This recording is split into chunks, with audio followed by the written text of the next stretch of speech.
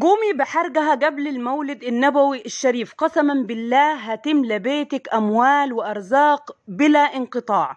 الوصفة دي أو الطريقة دي سهلة وبسيطة جدا. بتخرج جميع أنواع الحسد والسحر اللي موجود في بيتك لمجرد ما تحرقي المكون ده.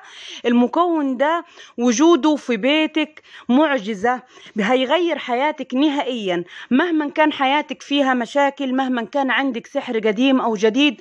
تخلصي من جميع أنواع السحر والحسد من بيتك واملي بيتك رزق وأموال لمجرد ما تقومي بحرق المكون ده قبل المولد النبوي الشريف. السلام عليكم معاكم قناة روحانيات ست البيت اتنين. النهاردة هقول لكم على آه، مكون. المكون ده حرقه في البيت للناس اللي تعرف إن أنت مثلا تعرف إن أنت عندك حسد أو عندك سحر أو ما تعرفيش عندك مشاكل ولكن لا قبل كده عملتي كشف ولا قبل كده آه، شفتي أي حاجة آه، أو حد شاف لك أي حاجة من ال- الحاجات دي علشان يعرفك حتى نوع الحسد والسحر عندك وحابة تحصني نفسك وحابة تخرجي الحسد من البيت وحابة تعملي بنفسك أو يعني تقومي بنفسك بطريقة في البيت للتخلص من جميع المشاكل دي ايا كانت حسد أو سحر أو نظرة أو كل المشاكل دي. عندك كمان عدم قبول أو عدم محبة أو آه، من المقربين ليكي أو من العيلة اللي انت عايشة فيها أو من أهل زوجك أو من كل الكلام ده. المكون ده لازم تقومي بحرقه قبل المولد النبوي الشريف.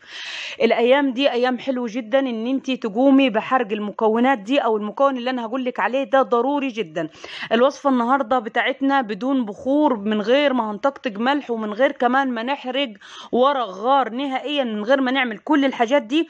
كل اللي انت هتعمليه زي ما هتشوفي كده هتجيبي المكون ده وطبعا ليه خلطة معينة وليه طريقة معينة ونبدأ نخلطه في الأول ونجهزه ونبدأ نحرقه واحدة واحدة. وعاوزه أقول لك إنه ليه طوقتين في اليوم بيتحرق فيهم. يعني اليوم اللي هتسمعي فيه الفيديو تقدري تحرقيه على مرتين أو كمان إن أنت آه، ما لحقتيش مثلا آه، النهارده حرقتيه مرة واحدة ما لحقتيش تحرقيه مرة تاني تقدري تاني يوم تحرقيه في أي توقيت أنسب توقيت للطريقة دي هقولهولك لأنه التوقيت بتاعها اللي هتعمليه فيها هو اللي هيفيدك أكتر من. أكتر من المكون ال- المكون بتاعنا اللي إحنا هنستخدمه آه، طبعا مش هنستخدمه لوحده في إضافة تانية هنحطها عليه بس إضافة بسيطة لا تذكر يعني تمام؟ هو ال- الكمون. آه، الكمون الأخضر. الكمون الأخضر ده آه، شبه بالظبط الحبة السوداء أو الكمون الأسود وهما الاتنين ما يختلفوش عن بعض وريحتهم حلوة جدا وأهم شيء تختاريه الكمون الأسود.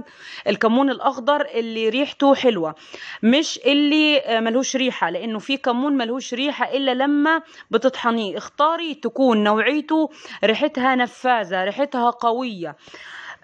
وطبعا تقدري تستخدمي منه آه نص كوباية أو كوباية أو فنجان صغير يعني نص فنجان أو فنجان آه وهو ده اللي هنخلطهم أو هو ده اللي هنستخدمه على مدار اليوم مرتين.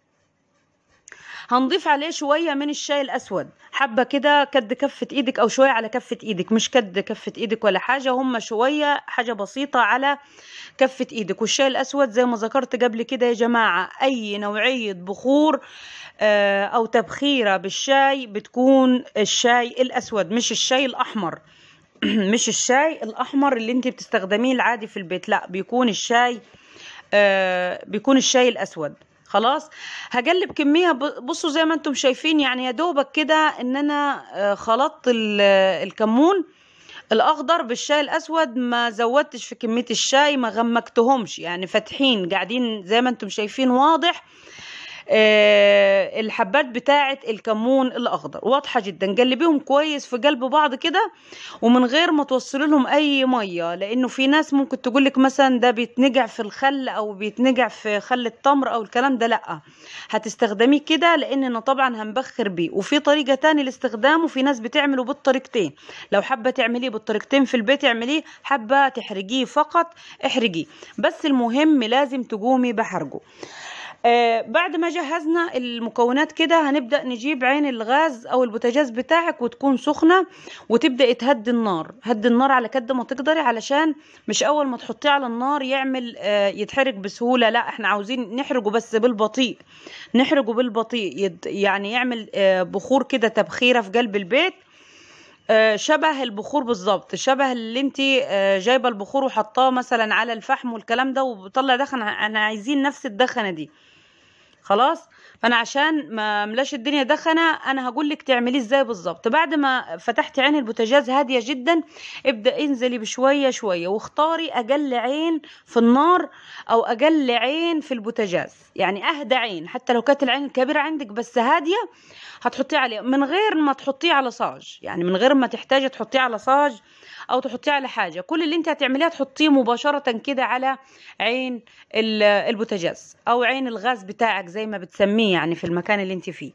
خلاص بس تكون العين سخنة آه عشان أول ما تحطيه تبدأ إن هي إيه تبخر لك البيت كله.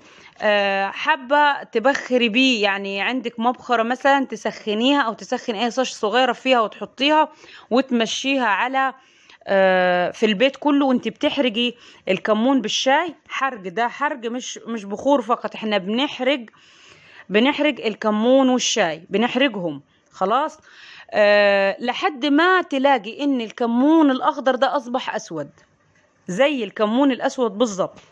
طيب لو أنا ما عنديش الكمون الأخضر ما عنديش مش متوفر استخدمي الكمون الأسود أو الحبة السوداء زي ما آه بنسميها. بس حاولي تزودي خالص من الكمون الأسود. يعني اعملي فنجان كامل من الكمون الأسود عليه رشة بسيطة من الشاي الأسود. وعموما الكمون الأسود بيترش فقط لكن لو حركتيه بيملى بيتك رزق جدا. ودي الطريقة اللي ناس كتير ما تعرفهاش لأنه معروف إنه الحبة السوداء أو الكمون الأخضر ده بيترش أو بيتوجد في البيت في سرة بنربطه ونشيله. لكن حرقه حرقه يا جماعة في البيت بيت بيطرد الشياطين والسحر والحسد بيطرد الشياطين والسحر والحسد القوي أو النظرة القوية اللي أعراضها أعراض سحر تمام؟ فلو عندك حتى الاتنين نظرة وعندك حسد وعندك سحر وعندك كل الأمور دي تمام؟ والأمور دي مرشوشالك على الأرض أو الأمور دي مثلا خطيتي عليها بالغلط مشيتي في شارع غلط مشيتي في عتبة غلط أو عديتي عتبة باب بيتك في توقيت غلط لأنه في بعض الوقت في بعض الأوقات ما ينفعش تخطي عتبة بابك فيها وخصوصا الفترة بالليل أو ساعة الجيالة زي ما بنسميها اللي هي ما بين العصر والظهر. ما بين الظهر والعصر في توقيت من المفروض ما تطلعيش من عتبة بابك بس لو أنت بره تدخلي. لو أنت بره تدخلي بيتك لكن ما تطلعيش. كمان التوقيت ده من بعد الساعة 2 بالليل اللي هو ما بين الساعة 2 لحد الفجر.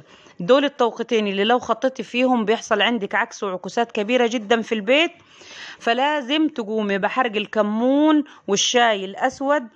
آه يعني بصي الكمية اللي انت شايفاها دي عشان أأكد لك الطريقة. الكمية دي من المفروض تحرجيها على مرتين في اليوم يعني تحرجيهم مرتين مرة في أول اليوم ومرة في آخره. لو ما لحقتيش إلا آخر اليوم وجاء عليكي اليوم عدى وما لحقتيش تحرجي الكمون الأسود والشاي إلا في الليل خالص تعالي تاني يوم احرجيه بالليل برضو ما تحرجيهوش في الصبح أو بالنهار احرجيه بالليل برضو. أما إذا أخدت اليوم من أوله وخلاص صحيت الصبح هتعمل الطريقة. أول اليوم احرجي نص الكمية اللي انت شايفاها نص الفنجان المخلوط ده وآخر اليوم ايا كان التوقيت والساعة احرجي الكمية التانية. خلاص؟ بسهولة جدا ما فيهاش صعوبة. أما إذا حركتيها بالليل وما حركتهاش بالنهار فهتيجي تاني يوم تحرجيها بالليل. المهم على مرتين وفي ناس كتير بتاخدهم كده بعد ما تحرج منهم شوية كمان ترش منهم على الأعتاب في أي توقيت. في أي توقيت يا جماعة؟